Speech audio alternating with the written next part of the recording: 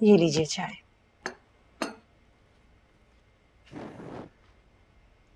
चाय की बड़ी तलब हो रही थी सकीना। तुमने बहुत अच्छा किया चाय बना लाई। कल रात तक तो इतनी थकन हो गई थी कि सुबह मेरी आँख ही नहीं खुली कि मस्जिद जाकर जमात में शामिल हो जाता।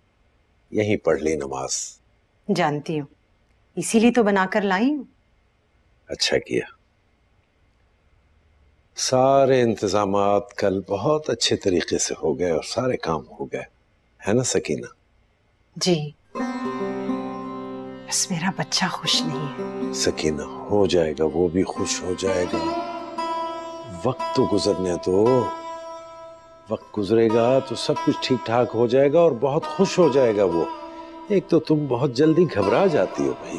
क्या करूँ? आपकी तरह इतनी खुश फहम नहीं हूँ ना।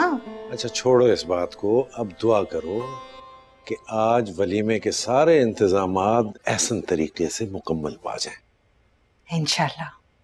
बच्चे उठ गए हैं? आयशा से कहा मैंने जाकर देखे? मैं तो आपके लिए चाय बना कर ले आई।